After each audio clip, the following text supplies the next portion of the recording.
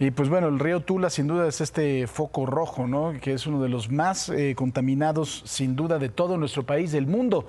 Y hay que pues tener eh, algún tipo de acción, como ya lo estábamos comentando.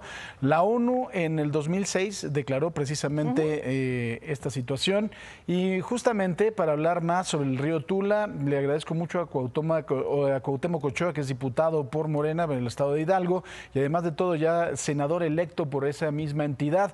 Me quedo Cuau, ¿cómo estás? Buenos días. ¿Qué tal Paco? ¿Cómo estás? Como siempre, es un placer estar contigo y tu auditorio. Igualmente, desde hace mucho tiempo tú has tenido una preocupación muy importante por el río Tula. Desde el 2021, cuando se presentaron estas muertes, cuando además de todo se inunda un, un hospital en el cual hay personas que están conectadas a unos respiradores, pierden la vida por esta inundación. Tú ya lo habías adelantado y la verdad es que creo que nadie ha apelado. Es un asunto que ya tiene tres años y nadie ha apelado. Gobiernos van, gobiernos vienen.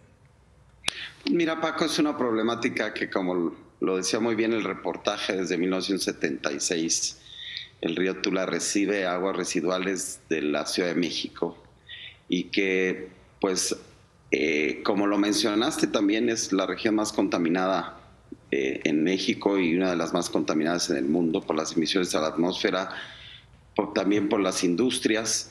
Y pues ha venido haciendo un trabajo eh, importante para poder mitigar estos efectos de, pues, de, las lluvias. Tú sabes que nosotros recibimos aguas de la zona metropolitana, del Estado de México, del Distrito Federal. Y que desde, pues, desde el año pasado, bueno, desde, hace, desde 2021 que sucedió el trágico inundación, donde hubo muchas muertes, donde presidentes municipales, este, hicieron trampa y generaron pues, algunas afectaciones a la gente burlándose de ella. Y lo que hay que atender en este sentido, Paco, es que hoy se hacen obras en beneficio de mitigación de estas afectaciones al medio ambiente, más de 1.100 millones de pesos.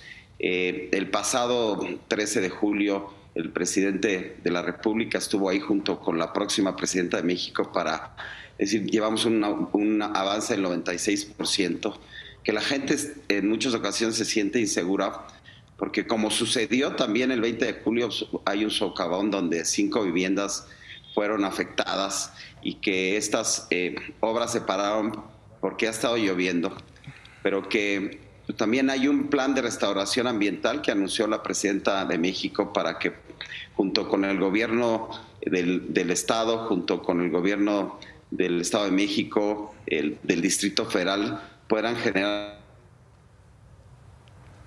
tenemos un problema en la comunicación eh, con Cuauhtémoc parece que se frició.